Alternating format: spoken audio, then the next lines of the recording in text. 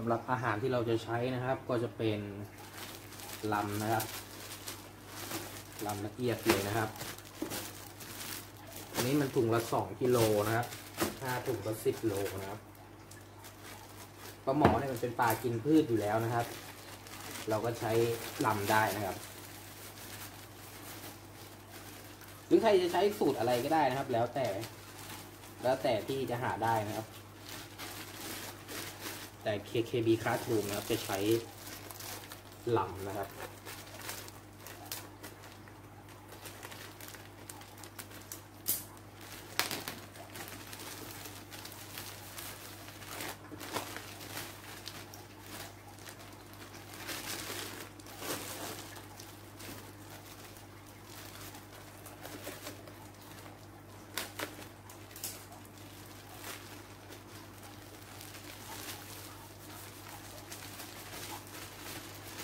เดี๋ยวเราจะ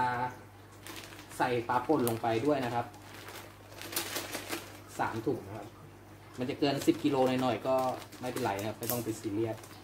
ปลาป่นเนี่ยมันจะมีคุณสมบัติก็คือมีกลิ่นหอมนะครับ มันจะดึงดูดปลานะครับ ให้กินอาหารได้ดียิ่งขึ้นนะครับ ใส่ลงไปนะครับส่วนปลาป่นใครจะใช้ยี่ห้ออะไรก็แล้วแต่นะครับ แต่ของที่ KKB Classroom ใช้เนี่ย ก็จะมีส่วนส่วนยี่ห้อเขาเรียกว่ายี่ห้อส่วนตัวนะครับ ที่ใช้เป็นประจำอยู่แล้วนะครับ สปอนเซอร์ต้องเข้าแล้วนะครับปลาปน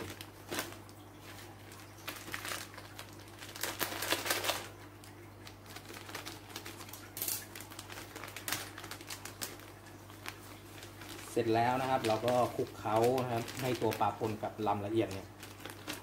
เข้ากันนะครับ อื้อ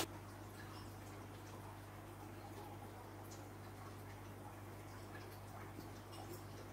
กลิ่นหอมมากเลยปลาป่นยี่ห้อนี้ใช้มาหลายปีแล้วนะครับ เราก็คลุกไปเรื่อยๆนะครับ จนมันเข้ากันนะครับ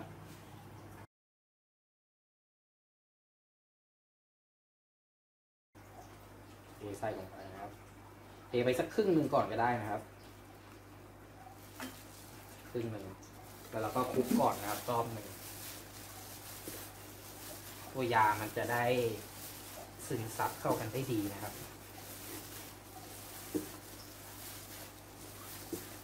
ถ้าฟาร์มไหนมีเครื่องผสมอาหารแบบ แบบที่มันกรองได้นั่นก็จะดีมากเลยนะครับ ใส่เครื่องแล้วก็ค่อยๆล่อนลงมาครับมันจะเข้ากันได้ได้ดียิ่งขึ้นนะครับ แต่ถ้าไม่มีก็ไม่ใช่ปัญหาครับ ใช้แบบคลุกแบบนี้ก็ได้นะครับ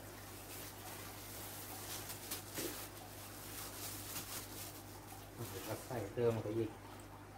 ทีนี้ก็ใส่จนหมดไปเลยนะครับ